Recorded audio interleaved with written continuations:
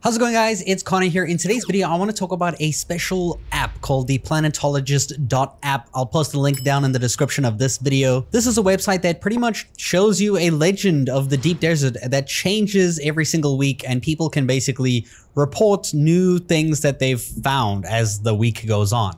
So the first thing you need to do on this website is at the top, you can select the region that you're playing. In my case, I'm playing on European server, so I will pick Europe as the server of choice. And this will allow me to see where everything is by sector within the deep desert. And let's go see how true and how accurate this is. So I'm going to start by going to the deep desert on the left-hand side. And we can notice here there are three types of spice fields. There's small, medium, and the ring mouth spice field, which we notice there's one in F1 right over here on this block. I'm going to go ahead and fly there.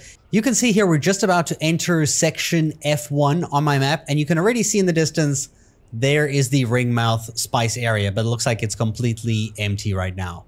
But it was accurate that it existed in this location. There is another one in E5. And as you can see here, I'm making my way from E4 into the sector E5. And you can see again, there is the large ring on the ground. So very, very accurate.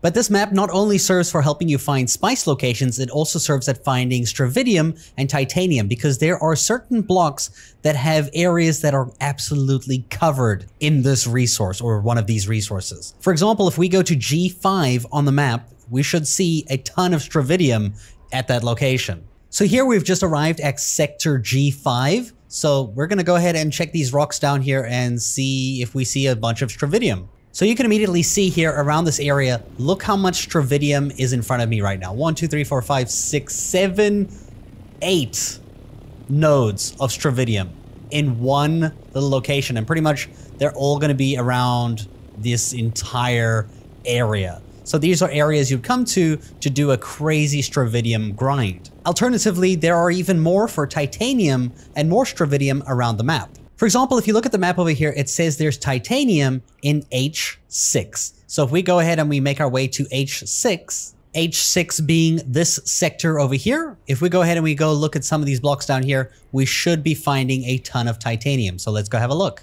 Do a quick flyby over here and you can already see there's two nodes over there. I can already see one there, one there, one over there, Somebody might have been mining some of these locations just out because I saw somebody flying away as I flew in. And there are titanium nodes all over the place. So you would pretty much use this, there's another player over there, to pretty much farm titanium or find these resources so that you can make plastanium a whole lot more efficiently. And that's how you can easily navigate anything that you need to find within the deep desert on your server. I hope this video helped you and thank you so much for watching.